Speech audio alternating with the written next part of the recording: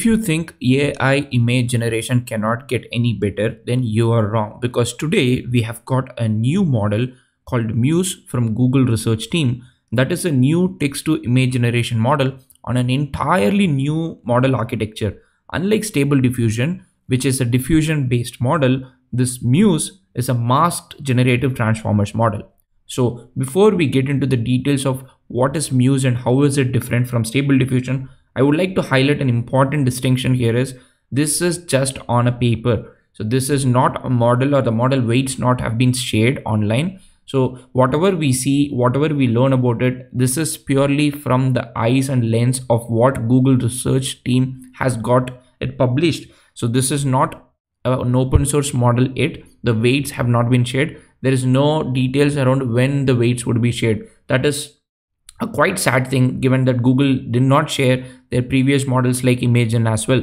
But this is what we have got, but at least we have got a new idea. I hope that somebody would take this idea and build an open source model and share the weights with us so that the community can benefit from that. So to start with, first of all, how does stable diffusion work? Stable diffusion is a diffusion based model. As you can see that it has got this noise, then it has got this image, and then they try to denoise and predict the image so that is the model of stable diffusion and you can see that you have got noise first and then you try to predict the image and that is how you create a text to image generation. So that's how stable diffusion works.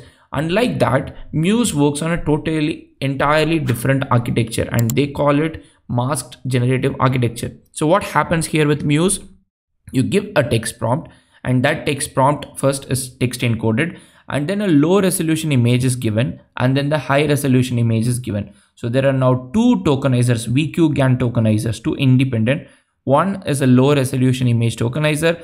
The second one is a high resolution image VQ-GAN tokenizer. So now what these tokenizers are going to do is they're going to create masks on the token. So you can see that from this image, they're going to create some masks here and there. And you can also see they're going to create some masks.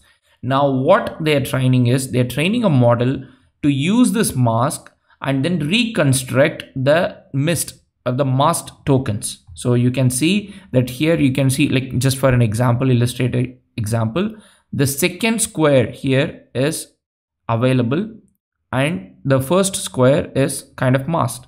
So you can see how this is being reconstructed here. The same way you can see this image and then you can see the result.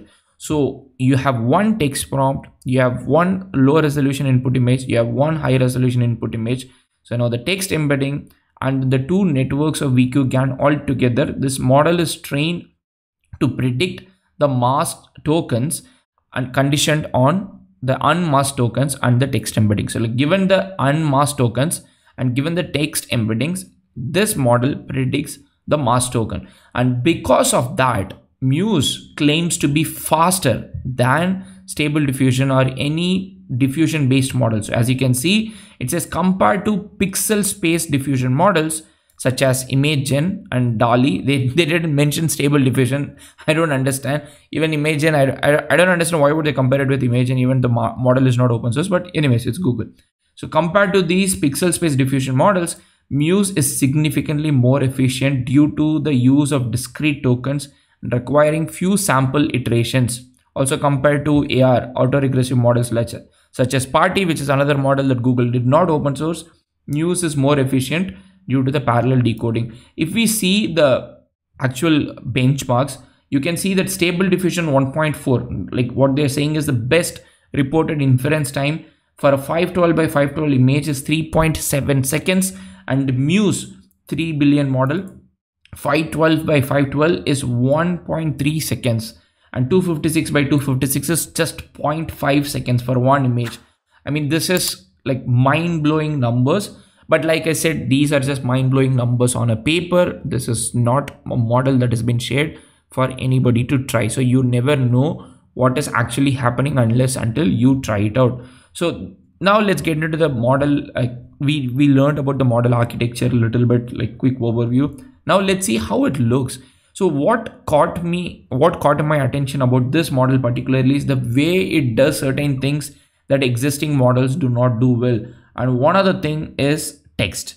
So I have been always fascinated or interested looking at different text the models so here you can see wombat so it says high contrast image of the word wombat and then it actually writes the word without making gibberish and again this is a 3 billion 3 billion parameter model. I don't know how the models with lower parameter would work but this is doing a really good job in text rendering. As you can see this is doing a really really good job in text rendering.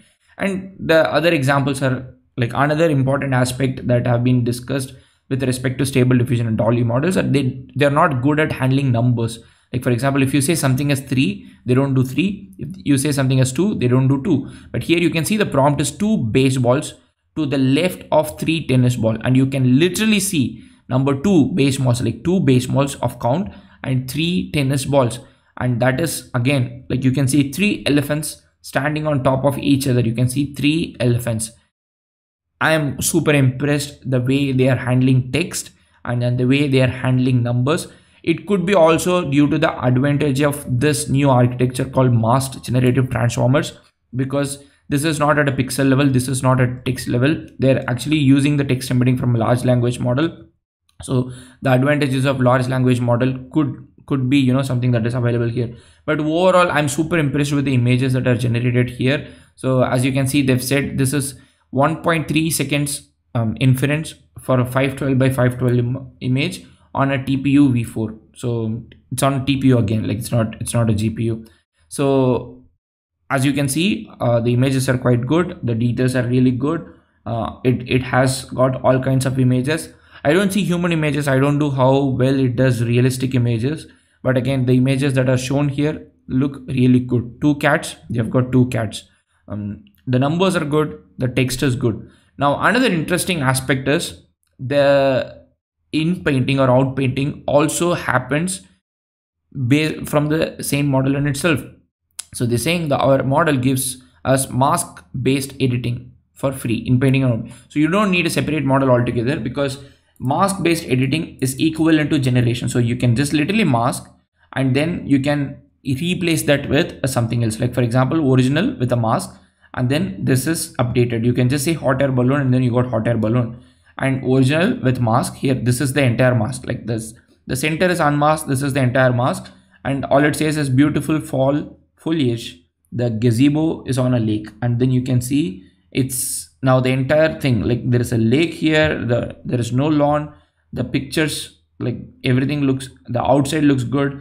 I mean you can now compare with the lighting here and there but still it it is quite good uh, in what is it is doing so that's that's it. That's it what i wanted to cover, cover in this video. You can see that it does text really well and that's exactly what they've highlighted as well. Like they want to say they want to show that it does text well but without the model available for everybody to test and use we do not know how well it is. I don't know what they are waiting for like given that we have got huge amount of stable diffusion model and then there there there are new stable diffusion fine-tuned models every day. I don't know what they are waiting for but they must have some strategy. Of course they're google right? But as you can see this model is something that i'm really looking forward to see if it can if it gets open source this is an entirely new architecture as well a different approach from what stable diffusion models a DALL-E kind of diffusion models have been doing so really looking forward to see what community does with this new architecture called masked generative transformers that's it in this video about muse text to image generation from Google Research. If you have any questions, let me know in the comment section. Otherwise, see you in the next video.